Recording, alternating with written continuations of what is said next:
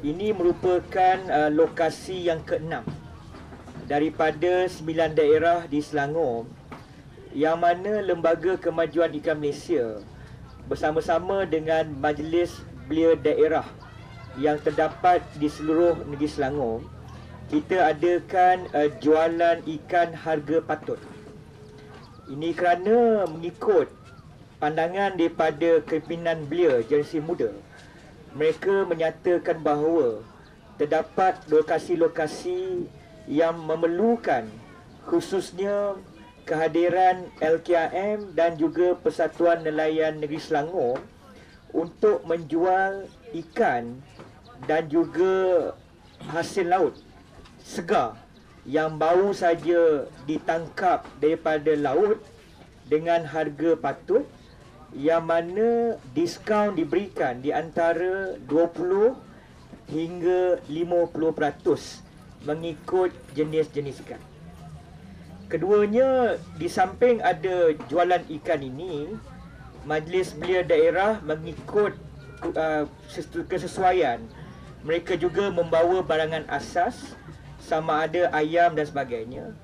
Dan hari ini di Dun Selat Kelang bersama-sama dengan LKM dijual juga uh, ayam yang harganya juga mengikut harga patut.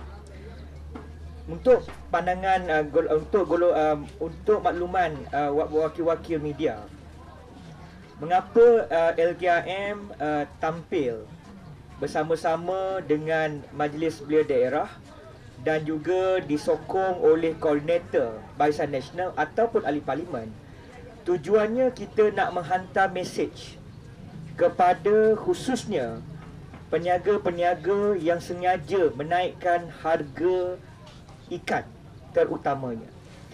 Ini kerana dikala saya akui ketika ini musim tengkujuh di khususnya di kawasan perairan laut sama ada di perairan uh, pantai timur khususnya Malaysia akan tetapi bekalan ikan masih lagi stabil.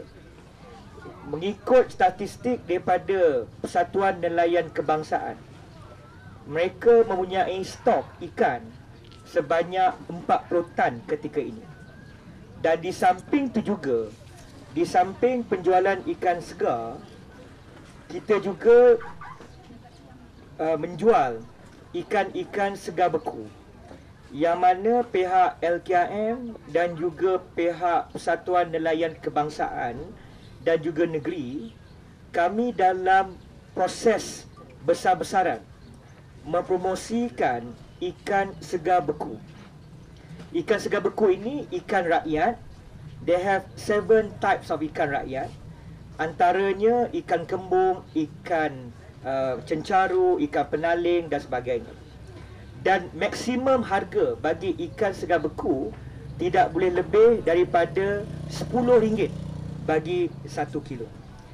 Dan ini juga antara fokus khususnya di peringkat LKM untuk memastikan setidaknya rakyat mempunyai pilihan sama ada ikan segar yang baru saja naik daripada bot nelayan dan juga ikan segar beku yang mana di waktu puncak ikan-ikan begitu banyak melalui teknologi daripada China dan Jepun iaitu IQF individual quick freezing.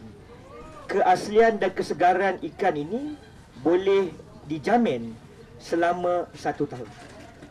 Jadi sebagai rumusan daripada program hari ini kita nak menunjukkan bahawa khususnya bagi peringkat LKM dan juga Persatuan Nelayan setidaknya kami nak memberikan dan menunjukkan keperhatian kepada rakyat.